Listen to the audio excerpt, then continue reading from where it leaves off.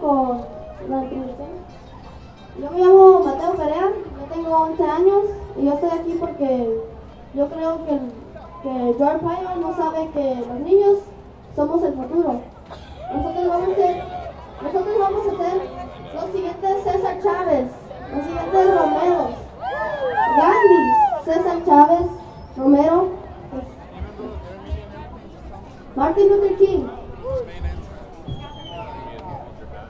Hi, my name is Catherine Figueroa. I'm 10 years old and I'm here because I want to fight for the rights of other people and because we are here all the future and I want a better and people come here for a better life for their children and thank you all for coming.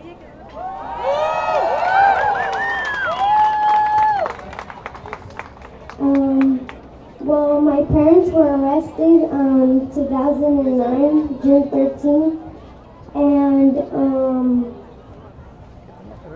it, I saw them get. I saw my dad getting arrested by TV, and it was a very hard um, thing.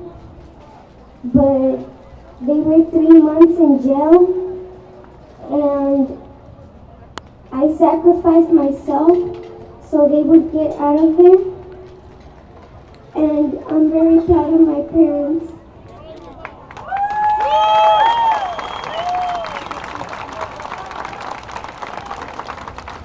Lo más que queremos es que, que Obama pare la SB 1070 ahora.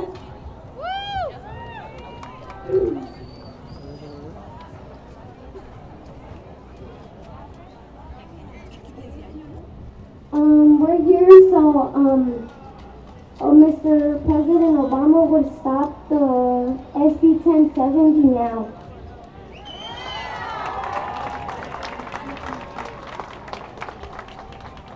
Sí, queremos que pare la SB 1070 ahora. Um, vamos a tener a alguien que va a hablar con nosotros un poquito, um, que se llama Pablo Alvarado. Un aplauso.